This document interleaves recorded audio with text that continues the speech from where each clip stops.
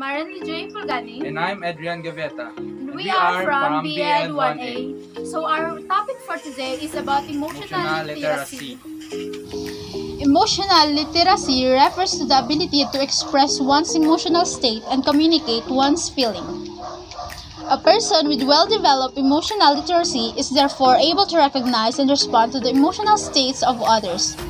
This is considered a hallmark of healthy relationships. Children must be taught to identify and regulate their emotions. A lack of emotional literacy can affect everything from a student's attitude to his or her social skill and academic performance. That's where the educator comes in. Teachers spend an average of 7 hours per day, 5 days a week with their young learners. How they handle the topic of emotional literacy can have a huge impact on their students. Emotional literacy is the building block of emotional intelligence. Subsequently, when we develop our own emotional literacy, we can access the develop important information about ourselves and others. Without the skill of emotional literacy, emotions would remain confusing and misleading and impact on the relationship we have with ourselves and other people. Just as learning to read and write begins with literacy of letters and sounds, learning to interpret and manage feelings begins with emotional literacy. The term emotional literacy was coined by Claude Steiner in 1979. The definitions of emotional literacy include to be emotionally literate is to be able to handle emotions in a way that improves your personal power and the quality of your life, and equally important, the quality of the life of the people around you. Emotional literacy helps your emotions work for you instead of against you. Claude Steiner. Is not a mere unleashing of the emotions, it is learning to understand, manage, and control them.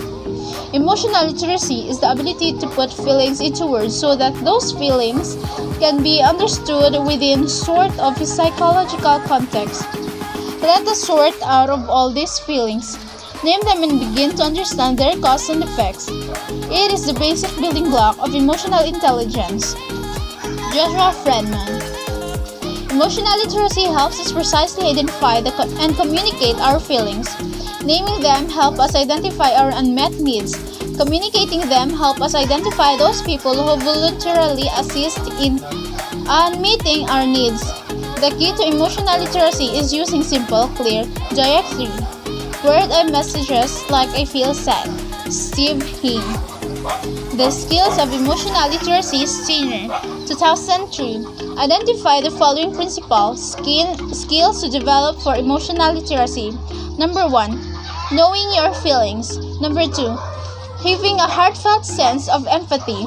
Number three, learning to manage our emotions. Number four, repairing emotional damage. And number five, emotional interactivity, putting it all together. Attributes of an emotionally literate person following are a number of the attributes of an emotionally literate person.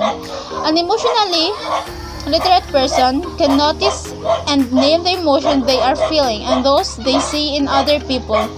Understand the message an emotion is aiming to communicate. Example, cause and effect.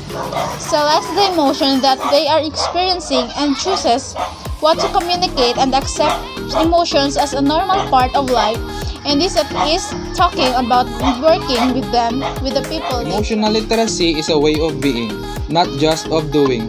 It is a pedagogical approach concerning teaching style and learning environment, which you can develop with your pupils as a community approach to inclusion. Emotional literacy is fast becoming a key element in many approaches to early education. Most preschools and kindergartens stress the quality of both peer-to-peer interaction and teacher-student interaction. The importance of social and emotional skill building is also gaining recognition as an important curriculum component in private schools and public schools. The district across the country.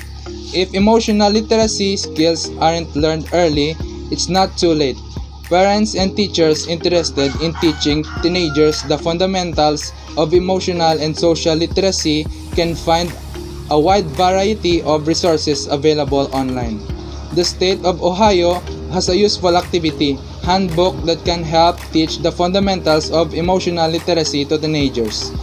Corporations such as Microsoft offer training programs for schools, parents, and teachers who wish to include social and emotional literacy into the overall education of their students or children. Emotional literacy is fast becoming a key element in many approaches to early education. The importance of social and emotional skill building is gaining recognition as an important curriculum component in private schools and public school districts across the country. All these developments are important steps toward recognizing that while the basics of reading, writing, and arithmetic are essential for the education and success of our children, they are not everything. The ultimate scaffold from which everything hangs is something else entirely. It's a mindful combination of emotional awareness, intelligence, and literacy. So that's all for our video. Thank you for watching. Hope you like it.